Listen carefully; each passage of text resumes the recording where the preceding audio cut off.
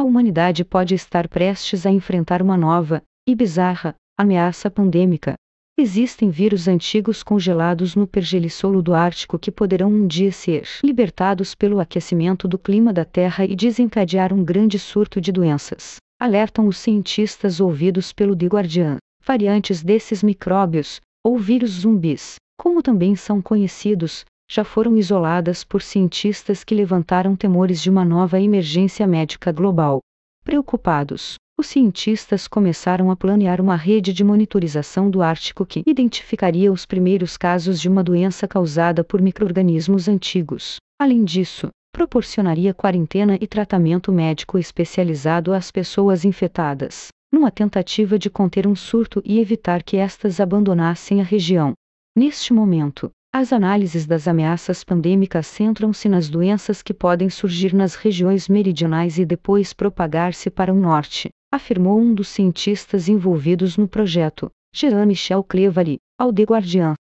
Este ponto foi apoiado pela virologista Marion Koopmans, que explicou também que, mesmo não sabendo ao certo que vírus podem encontrar no gelo, existe um risco real de haver um capaz de desencadear um surto de doença. Já em 2014, Jean-Michel Clevery provou, em conjunto com uma equipe de cientistas, que vírus congelados na Sibéria ainda podiam infectar organismos unicelulares, apesar de terem estado enterrados no subsolo durante milhares de anos. Outros estudos também revelaram a existência de várias estirpes virais diferentes, capazes de infectar células em cultura. Uma das amostras de vírus tinha 48.500 anos, os vírus que isolamos só eram capazes de infectar amebas e não representavam qualquer risco para os seres humanos, explicou Cleary, ao The Guardian, realçando que isso não significa que outros vírus, atualmente congelados, não sejam capazes de desencadear doenças nos seres humanos.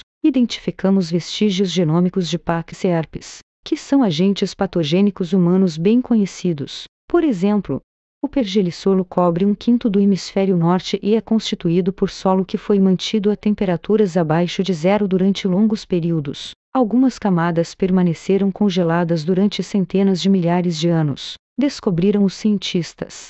Mas o pergelissolo mundial está a mudar.